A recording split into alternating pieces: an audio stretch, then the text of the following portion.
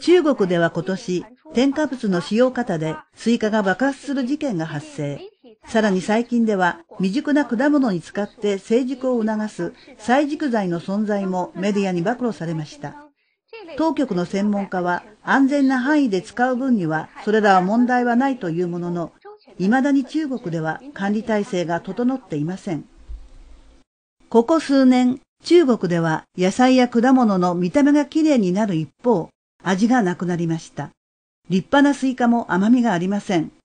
真っ赤なトマトも切ってみると中はまだ緑色。トゲのあるキュウリも異様なほどまっすぐです。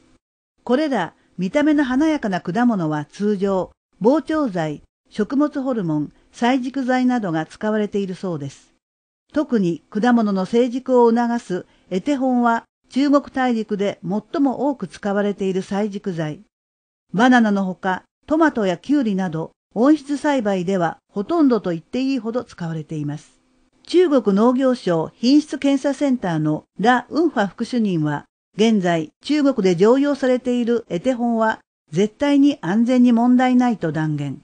しかし安全な使用範囲を確かめるシステムについては触れていません。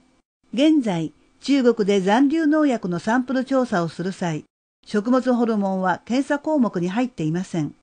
何よりも検査基準や方法が欠けており、使用量が過度かどうか判断できません。トルコイスタンブール大学の食物学教授インサール氏は、果物に過度なホルモンが残れば、アレルギーや癌などを招く恐れがあると警告しました。新東人テレビがお伝えしました。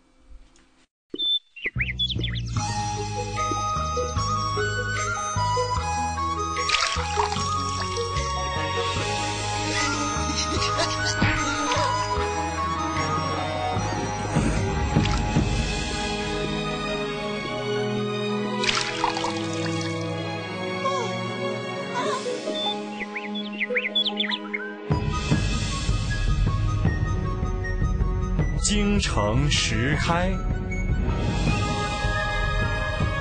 捐助新唐人，了却您久远的中国夙愿。